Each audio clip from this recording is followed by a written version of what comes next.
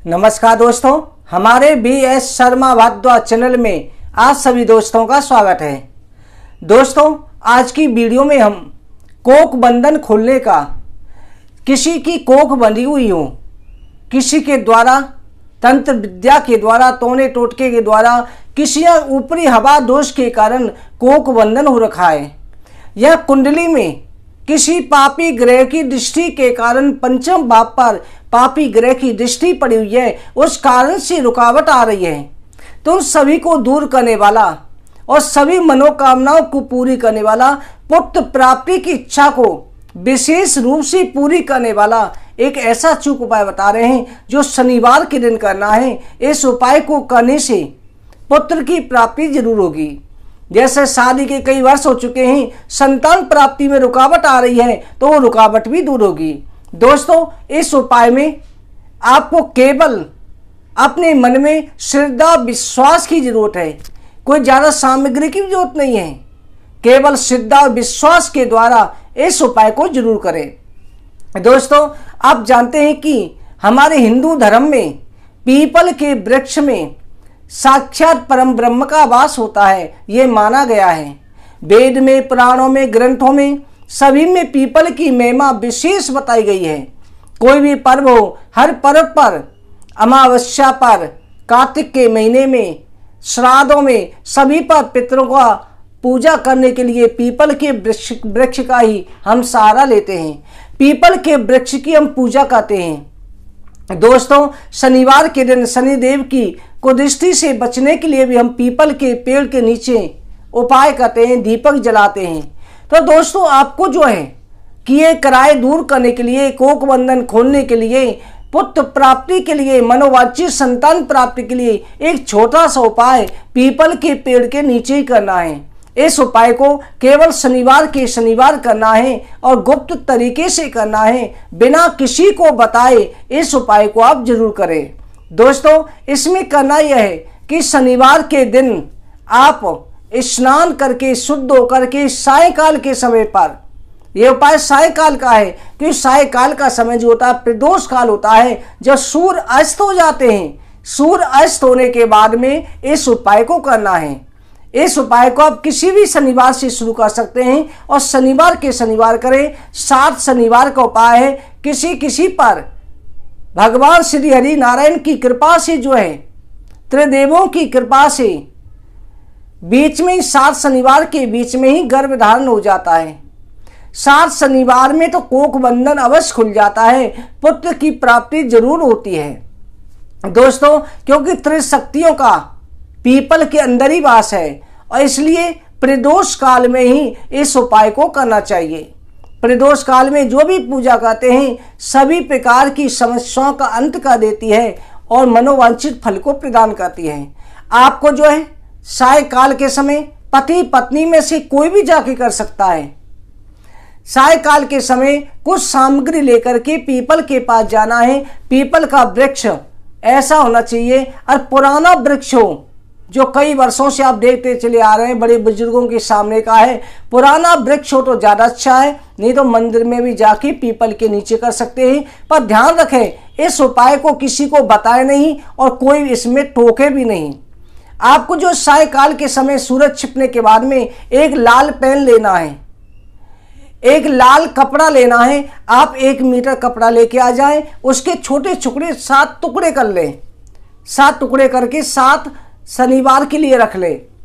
आप जो एक टुकड़ा ले लें उसमें से, साथ में आपको एक कलावा लेना है। कलावा मोली जो कहते हैं, पूजा की दुकान से मिल जाता है। और एक आटे का दीपक बनाना है, उस दीपक में चार बत्ती लगा देनी है। चार तरफ़ मुख करके, बना करके, आटे के दीपक, चौमुखी दीपक बना के, और उस दीपक में अगर गाय का घी ले जाया जाए तो ज़्यादा अच्छा है। गाय का घी मिल ही जाता है।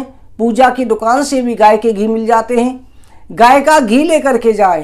पीपल के नीचे जाकर के सब प्रथम पहुँचते ही पीपल को प्रणाम करना है।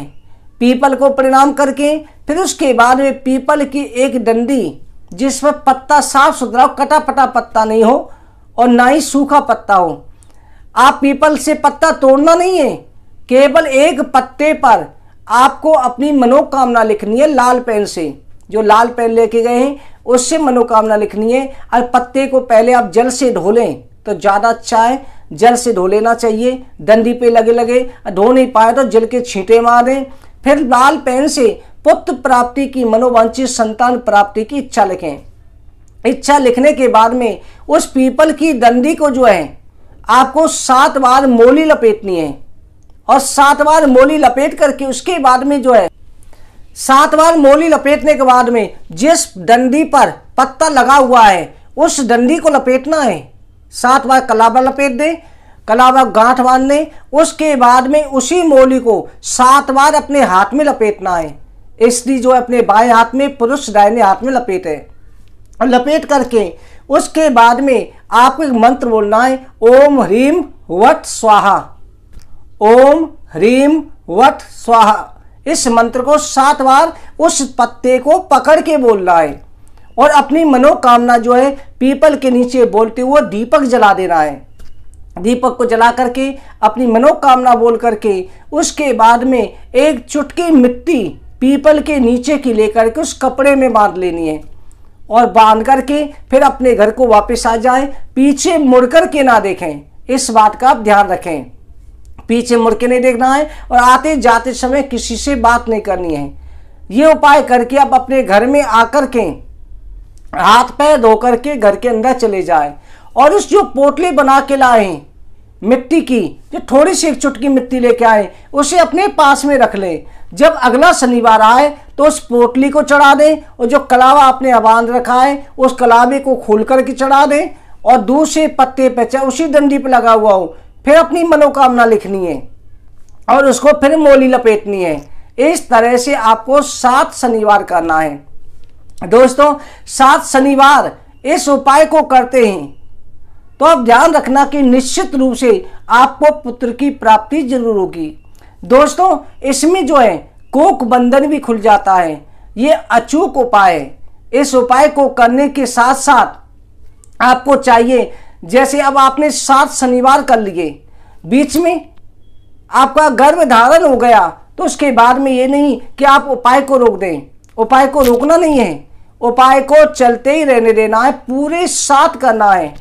और जब सात शनिवार हो जाएँगे, उसके बाद में आप कोई भी प्रसाद ले जा कर के पीपल को अर्पित कर सकते हैं। वैसे शनिवार के दिन छोले का प्रसाद चढ़ाए या जो मीठी खील होती है, भुने हुए चने होते हैं, उसका प्रसाद भी चढ़ा करके बच्चों में बांट सकते हैं। ये आप लास्ट के सात शनिवार होके, उसके बाद में आठवें शनिवार को प्रसाद चढ़ा के आ जाए। दोस्तों, ये अचूक उपाय है। इस उपाय को करने से निश्चित रूप से हज़ारों दंपतियों को पुत्र संतान की प्राप्ति हुई है मनोवांचित संतान की प्राप्ति हुई है, और कोक बंधन खुल गए हैं। दोस्तों, अगर आपको हमारी वीडियो अच्छी लगी हो, लाइक करें।